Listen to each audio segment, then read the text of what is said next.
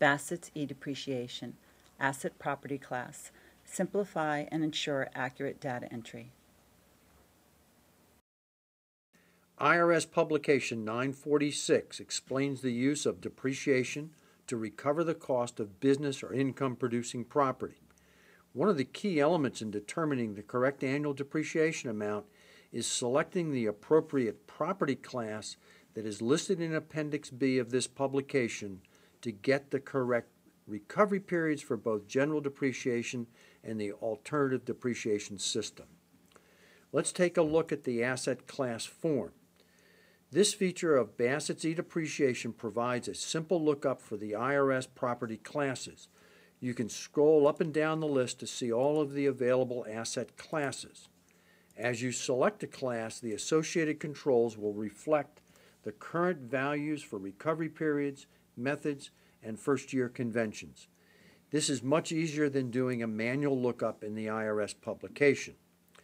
The selected asset class can then be linked to the appropriate asset GL code in your general ledger structure. This ensures that every asset with this asset GL will consistently apply the same depreciation. When you create a new asset, eDepreciation combines this functionality with our business rules that result in intelligent data entry.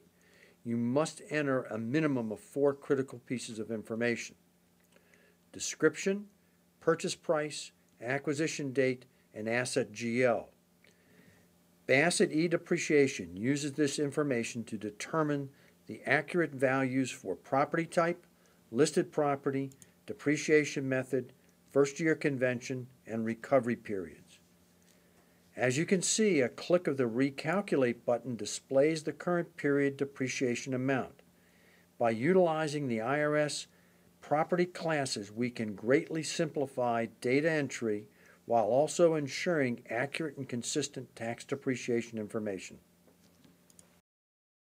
If you have any questions or would like to see a full demonstration of eDepreciation, go to bassets.net and click on the Contact Us link.